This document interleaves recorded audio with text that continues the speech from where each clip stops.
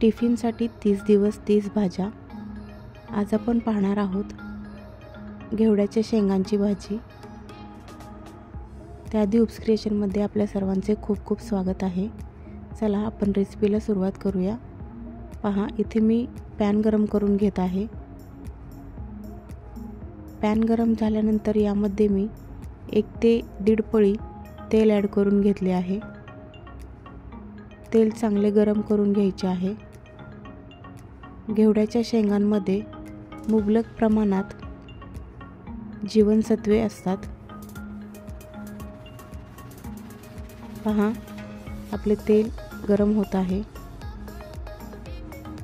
तेल गरम झाल्यानंतर यामध्ये आपण एक छोटा चमचा मोहरी आणि एक छोटा चमचा जिरे ॲड करून घेतले आहेत. हे दोन्ही छान तडतडल्यानंतर यामध्ये आपण ठेचून घेतलेला लसूण ॲड करून घेऊया. लसूण एक दोन ते तीन मिनिट छान परतून घ्यायचा आहे. पहा. लसूण परतल्यानंतर यामध्ये आपण एक छोटा चमचा हळद ॲड केलेली आहे. हळदही छान मिक्स करून तेलामध्ये परतून घ्यायची आहे. आता यामध्ये आपण घेवड्याच्या शेंगा ॲड करून घेऊयात. इथे मी शेंगा स्वच्छ धुवून निवडून घेतलेले आहेत. पहा.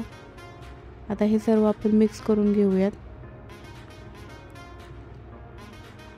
घेवड्याच्या शेंगा कॅन्सर मधुमेह ब्लड प्रेशर अशा रोगांना प्रतिबंध करते. आता यावरती आपण झाकण ठेवून एक पाच ते दहा मिनिट शेंगा छान वाफलून घ्यायच्या आहेत. पहा.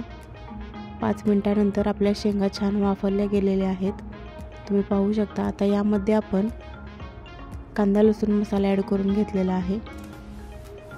इथे तुम्ही लाल मिर्च पावडरचाही वापर करू शकता.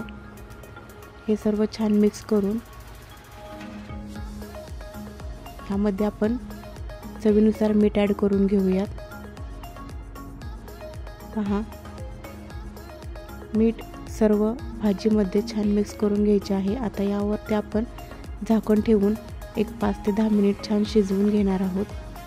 पहा पाच मिनटानंतर आपण झाकण काढून घेऊयात.